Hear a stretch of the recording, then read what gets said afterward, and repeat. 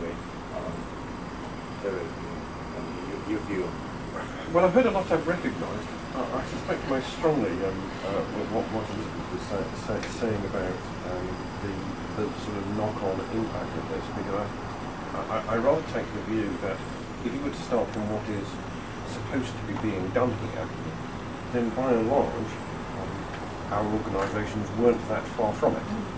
At least for those people on substantial remuneration, they were typically not on that higher base salary, um, a very substantial amount of it variable, and of that variable component, a very substantial part of it deferred. Now, that's where we were. Um, whether we will sustain that um, in, uh, as a result of that, because logically that's where you should be. You know, and that's where the, the sort of pressure here is to move us in that direction.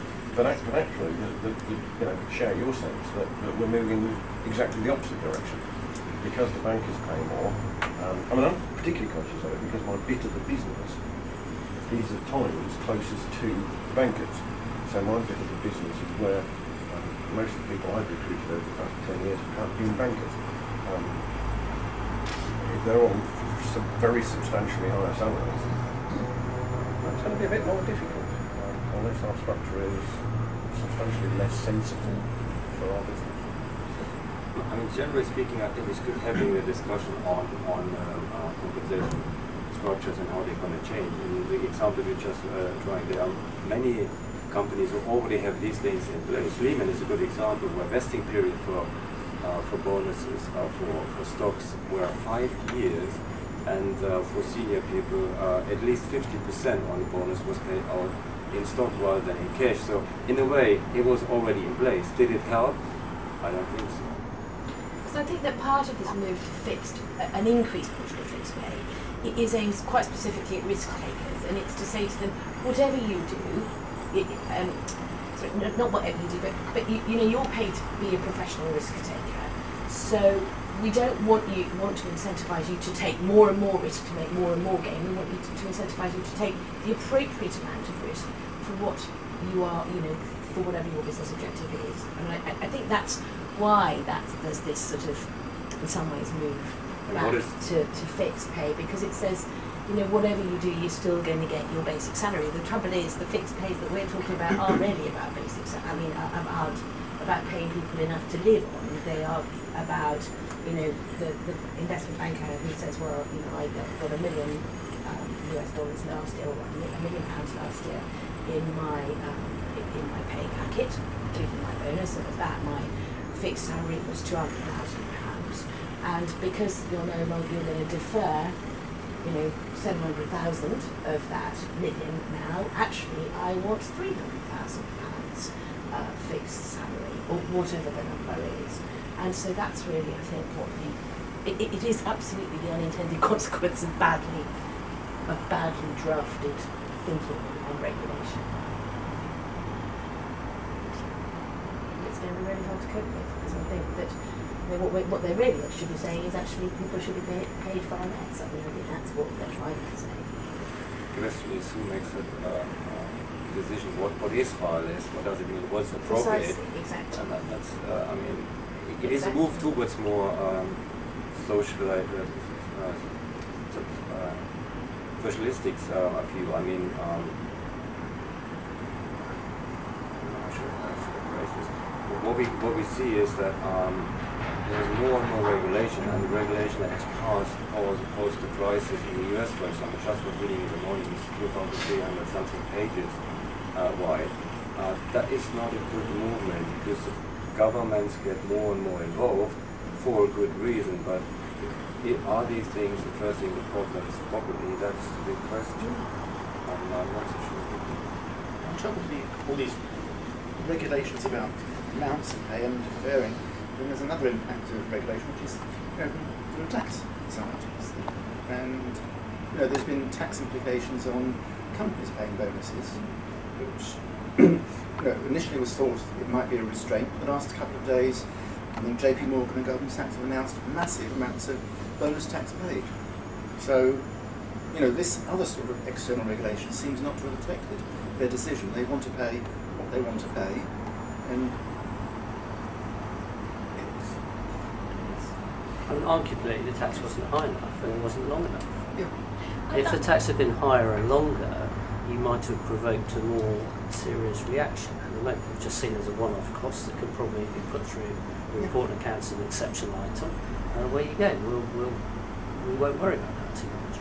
I think it's interesting also, I, I like that to contrast my experience in Asia, because I, I lived in Hong Kong for 16 years, working for Schroders all the time, so I'm one of those people that have been there, sort of man and boy. Um, and, uh, and there we, we had a 15% tax rate uh, for uh, salaries, and no capital gains tax at all, and that hasn't changed. There was no goods and sales tax, no VAT equivalent, and there was a, a, a corporate tax.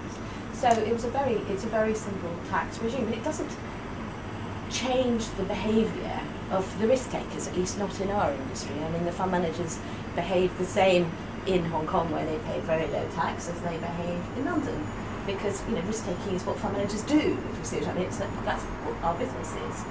And so I, I- don't think that the tax system is actually a very good way of controlling risk taking behaviour. I don't think it.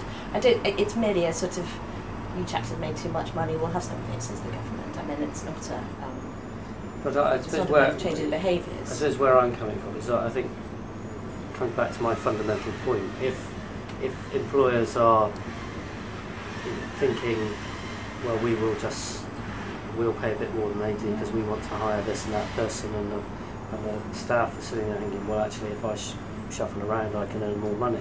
Effectively, the only way I think to be really you know, to make an impact on this is almost an illegal cartel amongst the employers. So right, we're just not going to push up investment bankers' salaries because they are overpaid, let's say, and we all have this unwritten agreement that we won't push up fixed remuneration, and then they can come to us and threaten to resign and threaten to go elsewhere. But we're not worried because we know you're not going to hire them, or you're not going to hire them, and and it, as long as you've got that competitive market, this is really difficult. Well, there is going to be something in this regulation which is going to be about guarantees, Mm. which will uh, make it more difficult for people to move. Because um, there, there are going, certainly going to be issues around internal guarantees about what you can guarantee stuff to stay. We might have threatened they were going to go.